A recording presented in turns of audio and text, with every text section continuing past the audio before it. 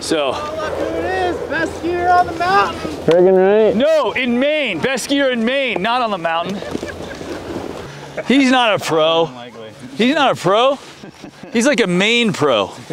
He's a pro in Maine. Frickin' Donny comes to town and nobody knows who I am. They just all want to say hello to Donny. It's just Not surprising, ridiculous. I can't believe PT invited him here. All right, Donny. This is one of the classic line, slot to Classic Chute. But be careful, it's a little steep up here and the bumps are a lot of moguls, which I know is not necessarily your thing. oh yeah, right. Friggin' only thing classic about this is how friggin' easy it is.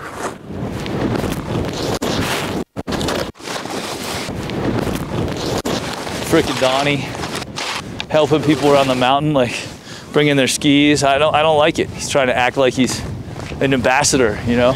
They say Jonny Moseley's the best ambassador for Palisades Tahoe. Here I am helping out the general public while he promotes himself up there. I don't like it.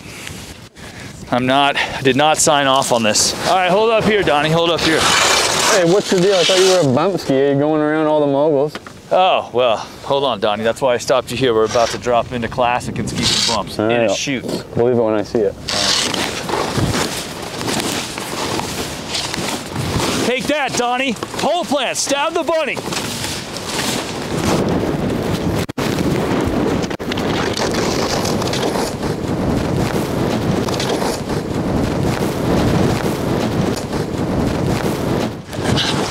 Oh, I see you finally got the technique figured out at the end there. I mean, I guess that's what I got to do to get going on Instagram these days, you know? Well, don't get discouraged. I'll figure it out.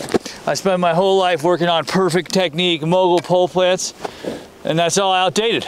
Well, it just comes natural to some folks. Other folks, it takes work.